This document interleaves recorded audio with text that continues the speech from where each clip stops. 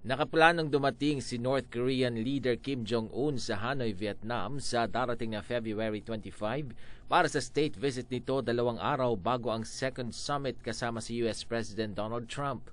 Nakatakdang muling pag-uusap ng dalawang leader sa darating na February 27 at 28 kasunod ng kanilang makasaysayan at unang pagpupulong noong nakaraang Hunyo sa Singapore. Si Kim ay nakatakdang makipagkita sa ilang lokal na opisyal ng Vietnam Nasusundan naman ang pagdalo nito sa isang summit kasama ang Vietnamese President. Bibisitahin din ng North Korean leader ang ilang parte ng Vietnam, kabilang na ang Vietnamese manufacturing base ng Bang Ninh at ang industrial port town ng Haiphong. Tinaboy ng tear gas mula sa kapulisan ng ilang mga bayolenteng rallyista sa Paris, Lyon at Bordeaux matapos umanong maghagis ng ilang pampasabog at set bin sa apoy kasabay ng kaliwat ka ng protesta sa lugar. Mari namang kinokondena ng mga opisyal ng France ang umano'y anti-Semitic abuse at anti-police attacks ng ilang demonstrador mula sa Yellow Vest laban sa administrasyon.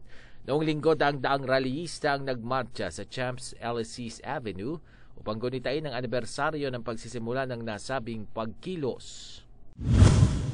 Dalawang lalaki ang nasa jeep ng isang railway police officer bago tuluyang mahulog sa platform gap ng isang tren sa Mumbai, India. Ayon sa mga survivors, nahirapan naman silang tuluyang makalabas ng tren dahil na rin sa dami ng pasaherong nagmamadaling pumasok. Nahatak sila ng tren ngunit nakaligtas ng walang anumang tinamong galos. R. Vargas, Newslight.